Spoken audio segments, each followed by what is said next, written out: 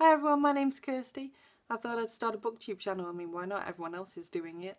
Um, my goal is to upload maybe two videos a week. I don't know whether right now whether that's not enough or whether I feel it's too much. I'll have to see how that goes. Um, right now I feel that two videos a week is good. I have two days a week off work, Wednesday and Friday. So they feel like good days where I could you know, get some chunks of videos recorded. Uh, see how that goes. By the way, I'm sat on the floor on a beanbag. So if there's any funny scrunchy noises, terribly sorry about that. I'm using my iPhone to record this video and I've not really properly worked out a, a good thing to prop it up on or a good thing for me to sit on. So right now, so I'm sat on the beanbag with my bookcases sort of to the side of me. So I've got a camera a bit wonky. I wanted to focus a bit more on the bookcases than just my, my behind me, my stairs, my door, everything like that. Um, I've got what I'm currently reading and aiming to read soon next to me as a prop kind of thing. Uh, and right now I'm reading the Mortal Instruments series. I'm actually on book four, City of Fallen Angels by Cassandra Clare. Um, about 118 pages in, I've just basically I'm about to start chapter six. I'm not liking this one so far actually. Um, I'm really not a massive fan of Simon and he did too much Simon. Um, my goal then is to move on to my Kindle and then I'm going to read Clockwork Prince as I've just read Clockwork Angel before reading uh, City of Fallen Angels. Then I'm going to move on to City of Lost Souls again by Cassandra Clare.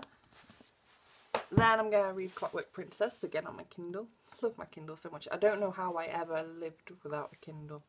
And I, I, I love this cover. Matches my lipstick. uh, and then we've got City of Heavenly Fire. It's a beast of a book.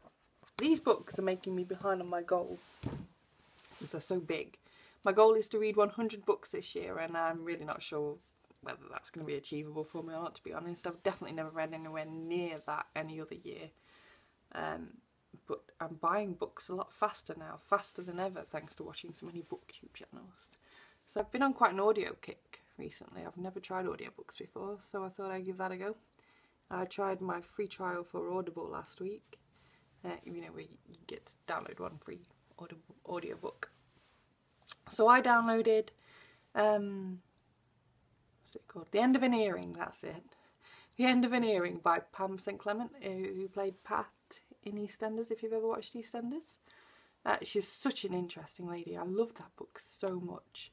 It, it was absolutely fascinating. Uh, I've given it a four stars. It's probably more like four and a half stars, really. Although it's quite difficult to, to rate an autobiography, really.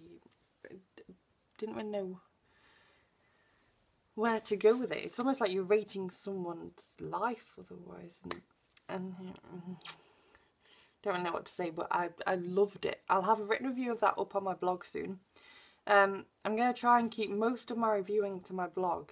Uh, so if you found this uh, video, you're either watching this right now thinking, why did I click play? This is so dull.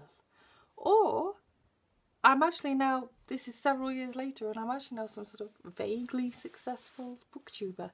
And you're watching my video literally just to laugh at me for how awkward I was for my first ever video, because everyone's first videos are awkward, I know that.